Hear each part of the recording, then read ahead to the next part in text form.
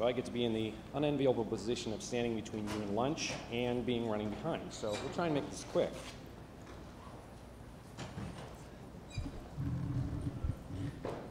So, by way of background, um, in 2013 of last year, or in, 20, in March of 2013, the FCC uh, CSRIC working group had this report on secure BGP. And most of what they were talking about was good, eat your vegetables, uh, get lots of exercise kinds of things. We all agree they're a good idea. Um, but they also had this mention of cautious stage deployment of RPKI route origin validation. And uh, it became my job to figure out how to do that. Um, so as I went through and tried to get prepared for deployment, um, I knew I had to dig into the details, and, I, and uh, I found out that while it is deployable, the uh, PR that's saying, yes, this is absolutely ready to go, and it's easy, and you should all just go do it, um, it comes with a couple of asterisks.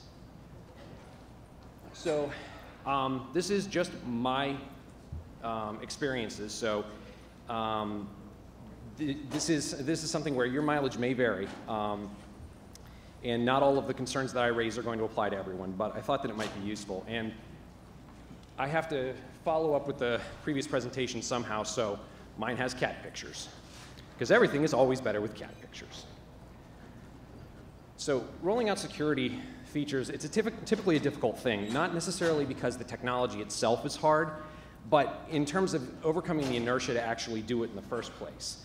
Uh, I think if we, if we think about it, we can all name lots of things that we could or should do in the security space, and the reality is that all of them require time or money or both, and most of the time knocking those resources loose um, really depends on who's the best at, at uh, pitching FUD uh, in order to scare people into action, or they're going to be reactive um, responses to things that you've already had happen to you, or they happen near enough to you that you can make a credible assumption they're going to happen to you. Um, so we give priority to bang for the buck. We look for good, fast, and cheap, and the things that we can do ourselves and still see benefit in terms of improved security. So there's this question of, can I do it now? Do I have to do it now? Or can I defer it? And how long can I defer it before it becomes a problem? So since this is a system that needs wide deployment to really see benefit, um, providing the incentive to be more aggressive, deploy earlier in the curve of, of uh, fast movers or first movers versus fast followers, uh, it's a little difficult. You either have to reduce the risk and the difficulty of deployment, or you have to increase the, the potential benefit so that the reward is worth the risk. Um, I know that there have been previous presentations here and other places on how route origin validation works but I figured it's useful to hit the highlights so that the words I'm using to, to talk about the stuff that I tripped over later will at least be in your short-term memory. Um, to caveat, when it comes to PKI, the only thing I know for certain is that I'm not an expert. So while I've tried to make sure that I have, I'm using the right words, apply salt as necessary, and there are folks in the audience that will be happy to correct me when I'm wrong. Um, the assigning part of RPKI is you're generating a cryptographically verifiable object. Um, and it basically shows that you're the legitimate holder for a given ASN prefix and the, the prefix, length, prefix and prefix length combination, and then publish those things where the world can find them so that others can compare what's in the routing table to what you're saying is allowed to be in the routing table for a given prefix. Um, the publication is a hierarchy. It starts with the trust anchor, and it walks down to the different publication points that the trust anchor, anchor references. Um, the trust anchors will have a bunch of URIs that point to the different certificate resources and their publication points for a set of resources. Um, some of these resources may then point to other child certificate authorities, and the system will basically walk the tree to find them all. Um, the relying parties have to sync with all of them in order to have a complete view, and then they actually do the heavy lifting for the validation of the signed objects. They look at the actual crypto um, so that there's this first uh, valid invalid test about the keying material. Is the ROA valid or is it not? If the crypto doesn't validate, then the ROA gets tossed out, and unless there's another ROA, um, those routes are considered unknown.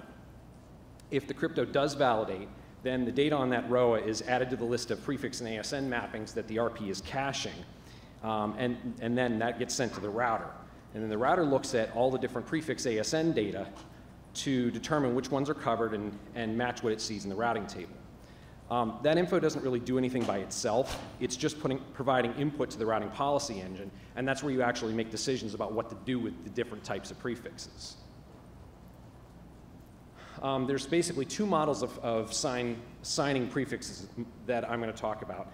Um, the hosted model is sort of easy mode um, because a lot of the more complex PKI stuff that you would have to deal with gets farmed out to a third party to babysit. Uh, this is the model that gets used for the presentations you might have seen about RPKI signing an entire country um, or an IX's worth of providers. The caveat with this is that it means that you have to be able to trust that the third party knows what they're doing with PKI. Um, in a lot of places in this, in this slide presentation, I'm going to refer to ARIN specifically. Um, they're my RIR, so that's, I'm most familiar with, with their policies. Um, and there's certainly a lot of places where you could substitute your local RIR for ARIN, but um, because I'm not as familiar with their, their methods and their policies, your mileage may vary. Um, the difficulty here in terms of a hosted service is that when it's good, it's great. But when it's bad, it's really bad because you have very little control over what breaks, um, or why it breaks, or when it gets fixed, and you don't have a lot of control over the chain of custody for things like your private key. Um, ultimately, you have to think about this in terms of the difference between the SLA that you offer your customers and the SLA you're offered for this hosted service. If you're relying on the service, you've just applied a limit to your SLA or taken on an additional risk of violating it. And so we're back to the question of risk versus reward in terms of what's the benefit of deploying. Um, you also, because of the way that this works, you have to have some solution to manage um, signing requests for your customers that you've delegated PA space to. Um, since they don't have any formal relationship with ARIN, you have to proxy those requests. This is a lot like updating WHOIS to uh, reflect delegation, um, but it's probably going to require some additional automation and portal work on your part to make everything play nice and not be manual. Oops. Yes. So the other model here, if you'd rather control a little more of your own destiny, is um, you end up having to do a little more work on the PKI side. If you're already familiar with PKI, this might be easy. If you're not, it's a lot more complicated. Um, one of the things I highlight here is key management because um, the way the software is packaged for this, um, it does have the setup that you could run it all on one box um, if you want, or you can have one box for your relying party and one box for your certificate authority. But if you only use one box for your certificate authority, you end up with private keys stored on a publicly reachable server, which may not be a good idea. So it, it, it sort of requires you to split your certificate authority across two boxes um, so that you have the machinery to sign things with your private key on a private box. That's the actual certificate authority. And then the machinery to do the publishing on a public box. That's the publication point.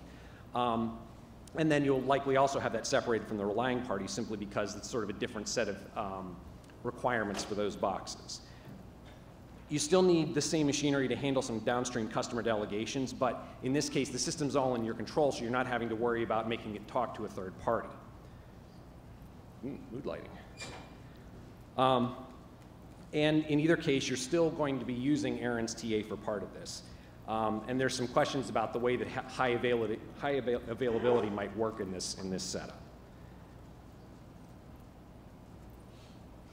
So no matter which model you use, you're going to have to generate some ROAs. And that means you need to know what prefixes, prefix length ranges, and which ASNs you need to assert if you can't answer these questions with reasonable certainty, then you can't really be sure you're signing your prefixes correctly.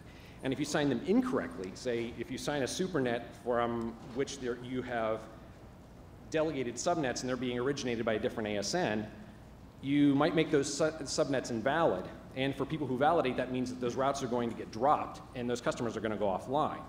Um, for those of you who saw Randy Bush's talk in the security track yesterday, you've seen proof that this is exactly what's happening. And so clearly we need to be paying closer attention to this.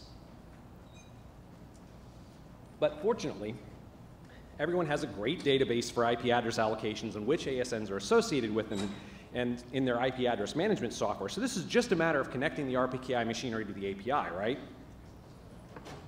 I know I do. So it is possible to compensate some for dodgy records by signing broader ranges. Um, if you don't know how far you might, might delegate a subnet, Um, you can generate a ROA, so it includes a prefix range for the, the supernet all the way down to a subnet.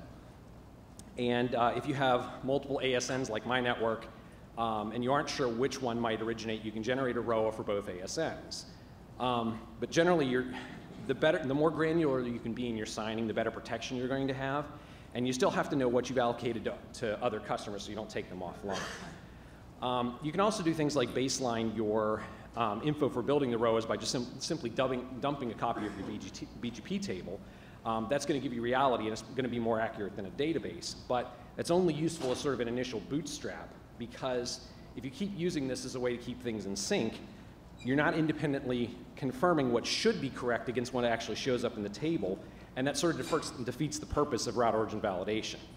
Um, this is probably a good, as good excuse as any to fix some of the tooling problems that are causing database rot in the first place.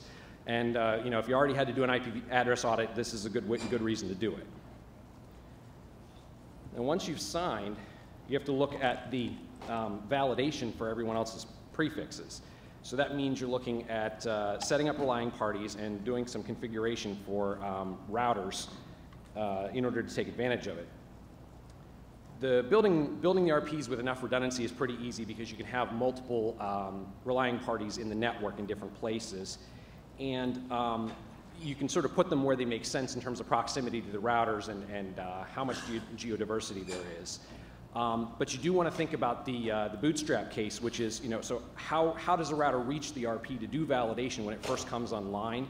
So that you can avoid the case where the router comes online, converges, and then has to reconverge once it can actually reach the RP and have validation information. So um, the, one of the issues here is that most folks already have um, existing local pref policies that they use to set, manipulate, and move traffic around in the network.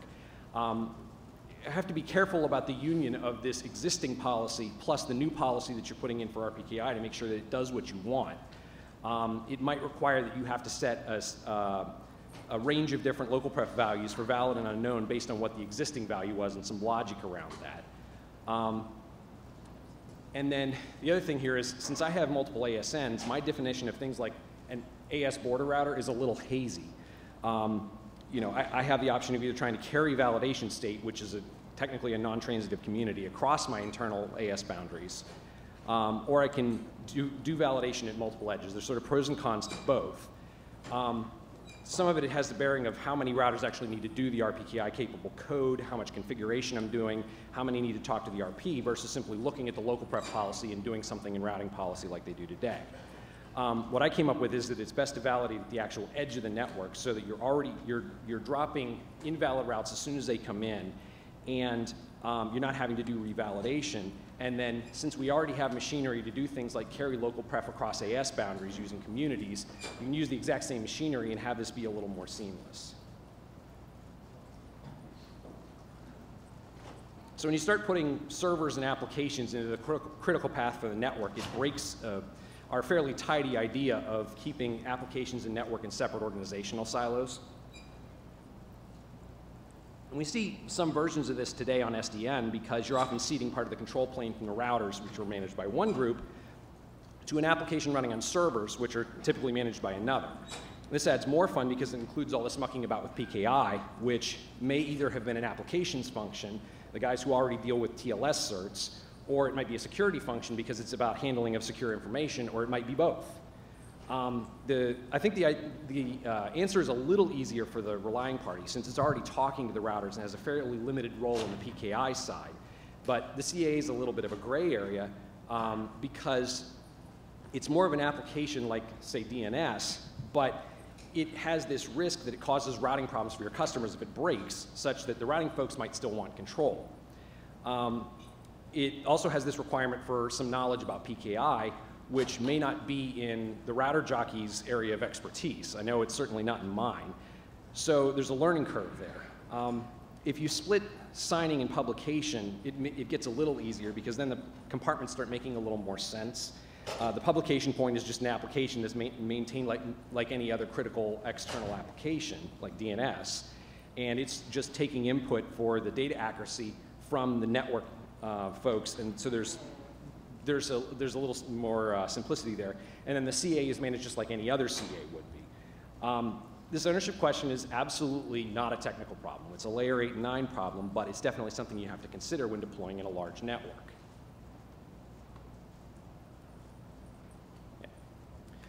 So getting any new technology is deployed, uh, getting it deployed is hard because it requires some sort of either a flag day or good support for incremental deployment.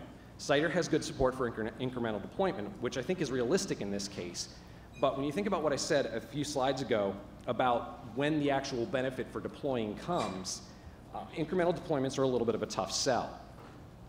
And I'm generally a big fan of the, the notion of failing open because it's a lot safer protecting you for lots of, of uh, miscellaneous cases you didn't think about. But the trap we sometimes fall into is that fail open gets used as a crutch to reduce the, the risk and the, the perceived risk and severity of the, of the potential failures. And um, in order to kind of limit the problem space you're looking at. And I think we may have swung a little too far in the other direction where it starts creating a disincentive to deploy.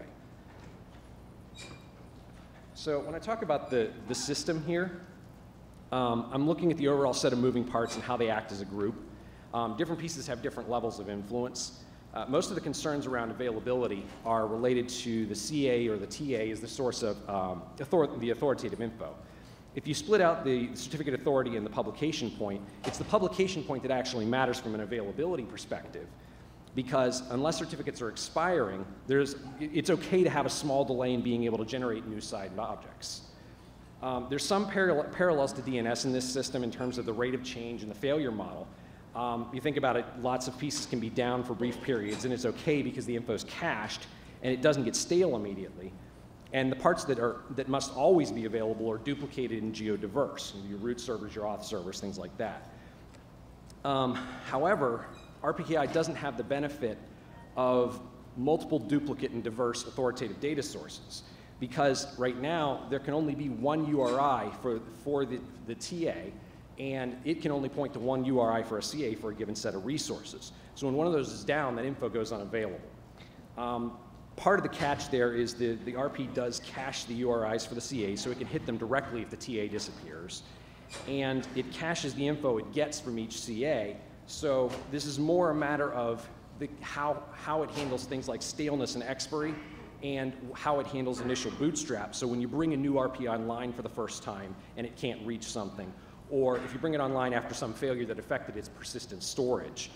Um, unavailable is also just unknown routes. So things aren't technically broken, but we've failed open again and fallen back to no protection. So again, I'm losing the benefit that I've deployed to gain in the first place. Um, there are certainly ways to use load balancers or DNS priority to work around the single URI, but given that we're using rsync here, that's a little curious. And um, I just sort of have the feeling that high availability load balancing, um, trying to do geodiversity in order to work around this problem seems kind of overly complex for something in the critical path of the routing infrastructure.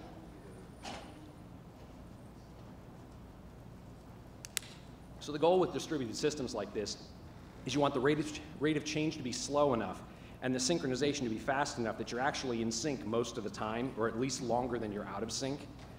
Um, but with this system, it's hard to know when that sync is, is actually achieved because there are no serial numbers like a DNS zone. And so what you end up having to do is choose an update and synchronization frequency that keeps pace with that rate of change.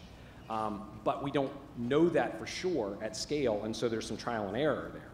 Um, and as the system grows, the current way that we distri distribute things is likely to encounter some scaling problems. You can see in the reference presentation there's a better discussion about those scaling issues. Um, but it's likely to make sync harder, especially if we get more aggressive and more frequent in the way that we do our synchronization.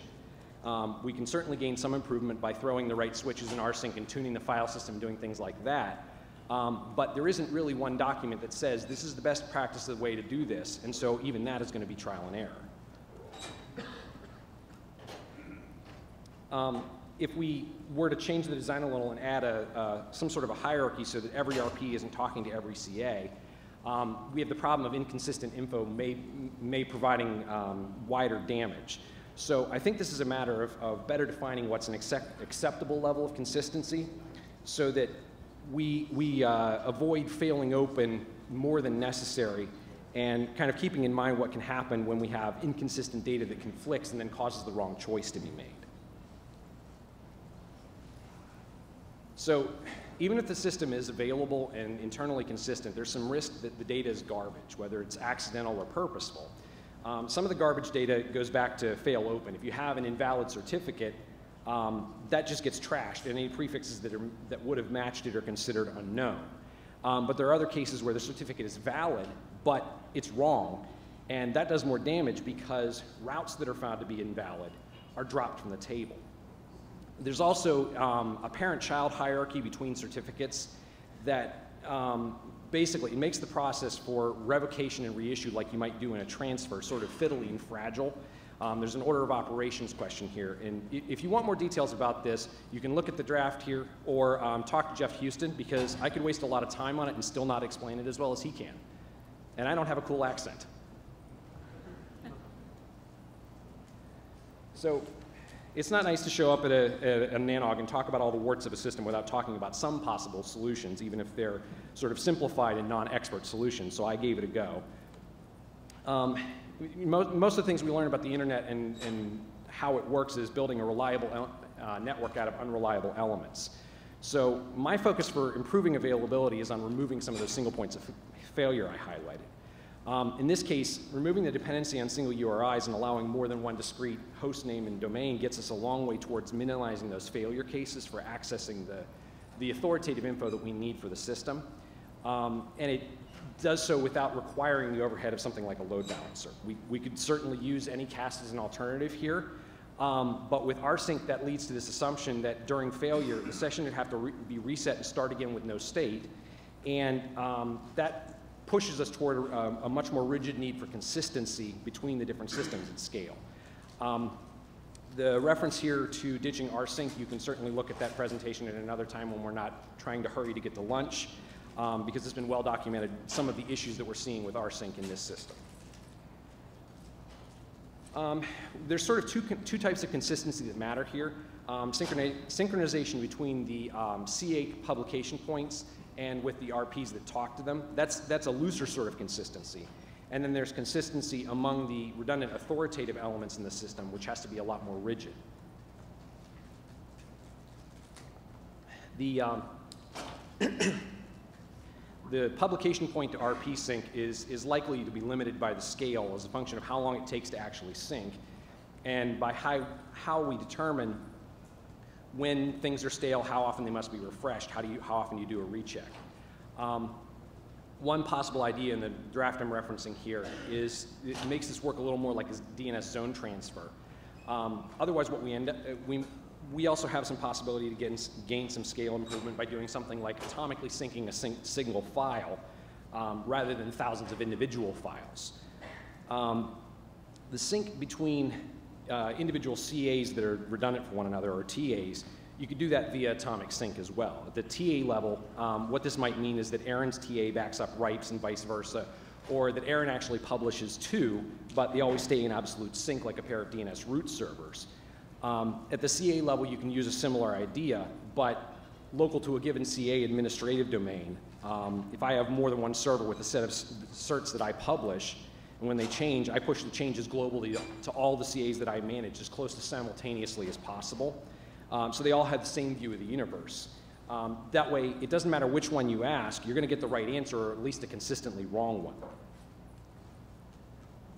Um, RPKI has similar data accuracy problems to routing databases and WHOIS. um, the, the data does rot if you don't keep it updated. Uh, some, some of the things some of those get solved in this case with a combination of automation and the fact that if you let the data stale, it causes outages.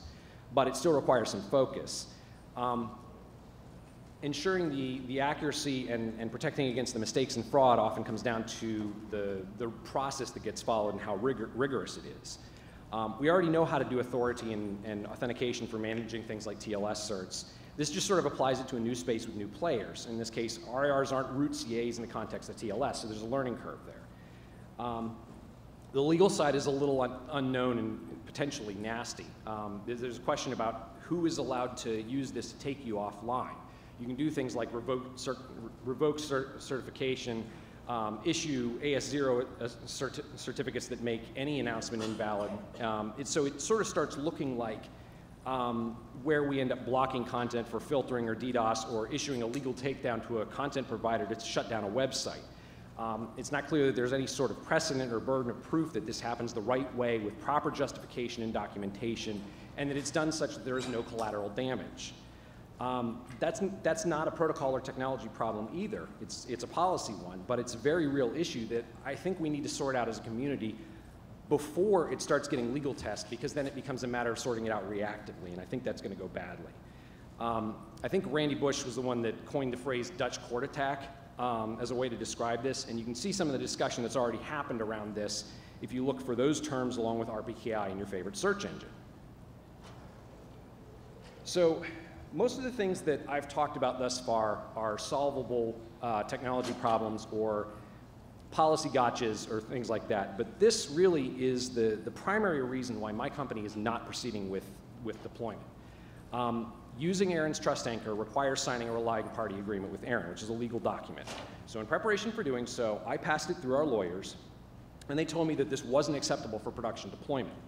Um, I'm not a lawyer, and your counsel may see this differently than ours did.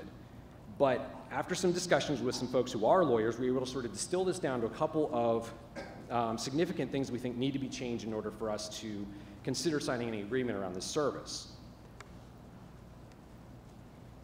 So some reads of indemnify and hold harmless mean that if we're both party to a lawsuit, we're required to defend not just ourselves um, to show that we're not at fault, but also defend ARIN. So that opens up a lot of risk for us as the user of this service. Regarding the warranty statement, um, the reason I bring this up is that um, we've already had the arguments about free and open source, and our lawyers have made their peace with that. They're not happy about it, but at least it's something we don't have to re-argue. Um,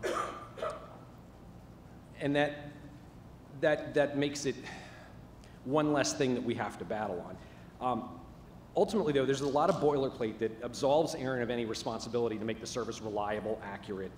Um, the, the certificate policy statement, the CPS, it helps by defining the process, but it has the same disclaimers. Um, and it, in order to be clear here, my goal isn't to try to be able to sue ARIN if things go pear-shaped. My goal is to know that ARIN has some level of skin in the game to make sure that this mission-critical service is available, consistent, and contains accurate data with reliable safeguards against fraud and preventable outages. Um, that helps to reduce the risk I take on by participating. Um, this last bullet here is probably the biggest barrier to RPKI deployment in North America. Um, I, in some ways, I can understand the need to have ARIN members sign an agreement covering the terms of the service that ARIN is providing to them. But requiring any RP to sign it, even if they don't have any business relationship with ARIN, is rough, would be roughly equivalent to VeriSign requiring you to sign a legal document before you're allowed to query the servers to find out where .com is. It would just mean that no one would use .com. Um, if, and this may be a problem of legal risk. Um, so perhaps there's a structure that allows ARIN to assume the right level of risk with a fee that covers this. You know, ultimately this is a free and opt-in service right now, and we're getting what we pay for. Um, but given the potential importance of this service, maybe that's not the right model. Thank you. So some of this may come down to a fundamental question about whether the RIRs are even the right entities to be in the critical path for this infrastructure in terms of the resources that they need to commit, the expertise, and the policy around it. Um, given the way that this has the potential to interact with global routing, we probably have a, ways to go to move from RIRs don't set routing policy to RIRs as a critical element of the routing system. And the policy development process is one of those areas we're going to have to evolve so that there's a bottom-up open method for its members to direct how this system is implemented and managed. Um, so to use ARIN as an example here, other than the suggestion box and the ARIN Discuss email list, both of which I think we've already tried, standing here today and discussing this publicly where hopefully we have some ARIN members listening is the only way I know to influence this that seems to be a bit of a problem in terms of making sure that this is done in a way that we can have confidence in the system.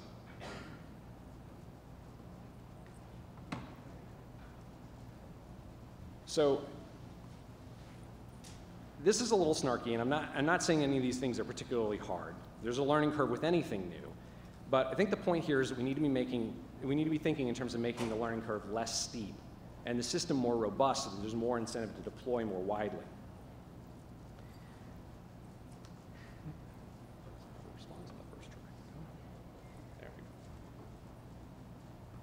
Um, as I said before, I don't think that RPKI is undeployable.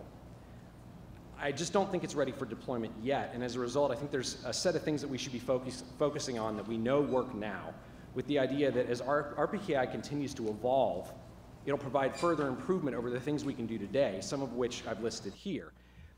But RPKI isn't going to improve if there aren't enough people poking at it and looking at the areas where it's in need of improvement. So I'm hoping that this will show you that there's a good reason to spend more time getting familiar with how you might do this on your network so that there are people smarter than me trying to find, the, find and, and or fix the holes. So I, my time says I have 25 seconds left. Um, I don't know whether we have any time for questions or whether we're running to lunch. We could take one question. Well, look, I'm here. Okay, real quick, So, Wes. uh, uh, name and affiliation and question in the form of a comment? What? Go ahead. Question. Uh, So, uh, Wes, John Curran, President and CEO, ARIN, Um, and I Hi, actually John. think, sorry? I think the slides, very good that you did these slides. Um, The question is with respect to the, the legal agreements, obviously. And, um, you know, there is uh, uh, currently multiple regions, other RIRs also contain such language. TWC's business class service agreement contains the same indemnification language, as it turns out. So it's not unheard of to see indemnification language. Having said that, it's true that there's a risk involved. And so by offering the service, there's a risk, and you don't want to end up losing an entire registry because something happened. And much like you want to make sure ARIN has skin in the game, we want to make sure people using this take the right precautions in case it fails. So they don't, you have the right filters, you have the right checks to make sure if there is a failure of a system, you don't destroy your own routing. So everyone's trying to make sure everyone has the right protections. Here's my question. You said ARIN members should get involved, and I think that's great. I would like the NANOG to know if the NANOG members can somehow get involved and actually participate maybe in one of the ARIN sessions and tell us what you need. And in particular, is if there was a paper delivered from NANOG, if you would lead a group to propose an answer, would you do that? Because that might be compelling on how the ARIN board makes a risk decision. Yeah, I, I think there's probably more discussion that has to happen around what the right model is to address these kinds of things, because this is, this is one of a number of different sort of operationally focused things that don't fit into NRPM right now, and therefore, you know, we definitely have more work to do there, and I'm happy to, to do what I can in order to, to move that forward. Um, I think as far as the legal wrangling is concerned, some of it is, you know, lawyers talking to lawyers or whatever. Um, I don't think that this is necessarily about whether everyone has indemnifying in their, in their contracts or not. I think that's probably arguing on minutia. Well, for example, the RPK, the RPA that you click to get the key, people complain that ARIN's the only region that to get the trust anchor, you have to go click and agree to the RPA. We could just put it in our CPA, CA um, terms of service, which is what APNIC does. APNIC says anybody who gets this cert agrees to indemnify APNIC. Okay? If you want it hidden rather than having explicitly visible, we can do it. But right. So I mean, it, it may it may actually be a question of how it's legally presented. Right, and, and some of this also is a matter of like, I- out of curiosity, when I when I was looking at this when I was preparing, the, um, the CPS, I compared yours right up against um, RIPE's, I believe was the other one I used. I don't think I looked at APNIC's. Um, yours has all the legal, legal boilerplate in it, RIPE's doesn't. Right, has all the member agreements, the same indemnification. Right, but there's a difference here. The member agreements are only applicable to the members. The folks that use their TA are not in that same situation. And that's the point I'm making here is that there's, there's a distinction that we need to make between what, what service agreement exists between ARIN and its membership using the service versus folks that are simply third parties trying to get information that their members want them to have. Is there time to take one more question? Uh, please, please go ahead, Sandy. Please, please go ahead. Okay. Uh, Sandy Murphy Parsons. Uh, Some points that you made that are technical, because I'm not a lawyer. Um, The multiple publication points for the trust anchors is already a uh, draft in the SIDR working group and uh, is working group last call. Um, There was a suggestion of doing multiple publication points for individual CAs. That's kind of uh, going slower.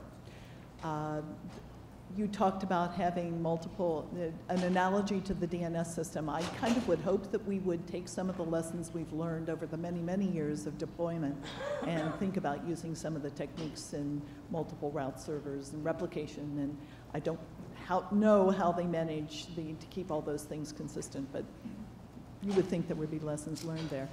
Um, The CA and the private key and the publication point, there is a publication protocol.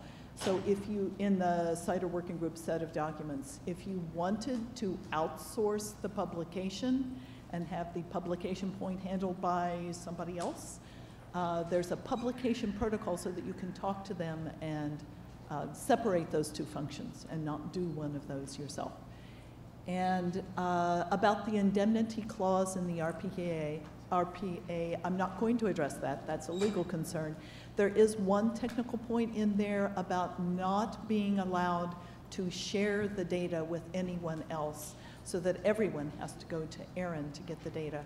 Um, and, and that has certain ramifications on our architecture and being able to get the data from your neighbor when you start up a new ISP or a new connection. Uh, and that's a technical concern, not a legal concern. Well, I mean, I know that it derives from a legal concern, but it's a Yeah, and, and there's, concern. I can understand some of the reasons why ARIN has that requirement in there, but I think there's probably, that's another one of those areas where there has to be some more discussion f- to figure out what the right balance between technical and, and legal Yeah. protection is there. Right. Okay. Thank you. So, one last question. This will be real quick. Um, just a plus one on the, on the deal breakers. And I think that to answer John's question, I think slide 21 in this presentation does a really good job. By the way, I'm Mike Sinatra of ESnet. Sorry about that. Um, John, uh, John, to answer John's question, slide 21 in Wes's presentation does a really good job of, I think, explaining what needs to be done and, and really what the framework ought to be. Um, basically, I can't ever sign this, that particular RPA as it is. It's illegal for me to do that. So um, we can, you know, we can talk about changing the laws of the state of California as they apply to state entities, but that's the way it is. And this is a, this is a very strong third-party indemnification clause that's in there. Not all indemnification clauses are the same. So that's all. You're bound by the use of 18A certificate, even if you've never seen it. Mike? John said, John said, I'm bound. You're bound by it if, by APNIC, just by touching the certificate, because it's,